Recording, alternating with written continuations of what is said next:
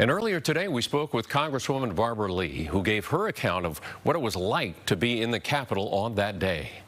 I put two and two together, not knowing what would take place, but knowing something was going to go down, never thinking what went down would be this this violent and tragic. But I actually wore my tennis shoes that day again because I I just knew that there were possibilities that I didn't even want to think about, but I was going to be there to witness the peaceful transfer of power as one of our uh, leadership members uh, on on the leadership team.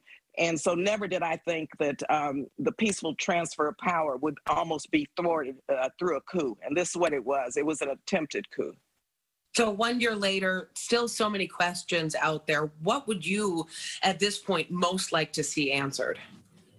Well, what I want to see answered, first of all, those who perpetrated, planned, and executed this uh, attempted coup need to be brought to justice. Uh, no one is above the law.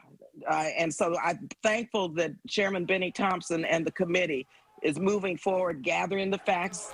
Uh, soon there will be public hearings and we'll lay out exactly what happened so that we will have a good and the public will know exactly who did what, when, and where. Secondly, uh, we've got to protect our democracy. And so I think January 6th really showed what uh, for, for, the fragile nature of our democracy, but it also showed how resilient we are because we, we survived that.